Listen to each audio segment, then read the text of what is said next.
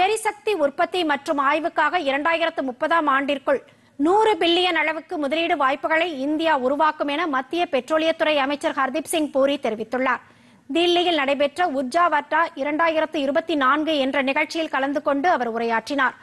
அப்போது தற்போது நாடு முழுவதும் உள்ள வண்டல் படுகையில் பத்து சதவீதம் மட்டுமே ஆய்விற்கு உட்படுத்தப்பட்டிருப்பதாகவும் விரைவில் இது பதினாறு சதவீதமாக அதிகரிக்கும் எனவும் குறிப்பிட்டார். ரஷ்யா யுக்ரைன் போர் காரணமாக சர்வதேச சந்தையில் கச்சா எண்ணெய் விலை உயர்ந்துள்ள போதிலும் எண்ணெய் விநியோகஸ்தர்கள் மத்திய அரசு விலையை உயர்த்தவில்லை என்பதையும் அமைச்சர் ஹர்தீப் சிங் பூரி சுட்டிக்காட்டினார்.